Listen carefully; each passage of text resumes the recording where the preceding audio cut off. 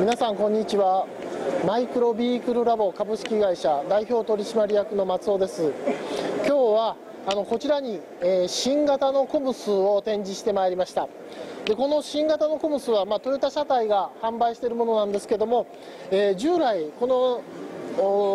床の下にはですね鉛電池が搭載されてます。で今回この鉛電池を我々勝手に取り外しましてそしてリチウムイオン電池を搭載いたしました。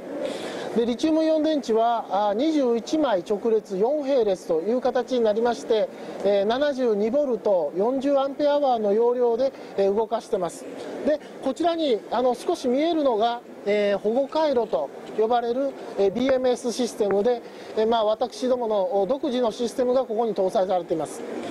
えー、こちらにですねあの今あのディスプレイに表示してますけども鉛電池の場合は21キロの電池が6個搭載されてます。ですから電池の重さだけで126キロになります。これをリチウムイオン電池にいたしますと30キロと実に90キロ近い軽量化が実現するわけです。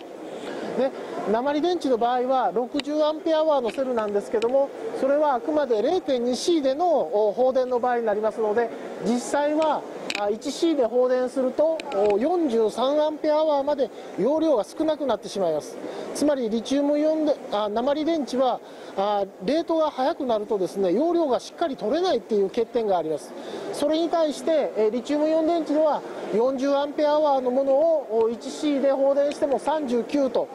ほとんど容量通り取れますので、実際には走行距離は従来のトヨタ車体が示している 50km に対して今回のリチウムイオン電池は55キロから65キロと60キロといった、ま長距離の走行が可能になるわけです。やはりこれは、まリチウムイオン電池が非常に軽くてですねでさらに、えー、容量の低下が少ないと、まあ、こういったことを特徴にしてます。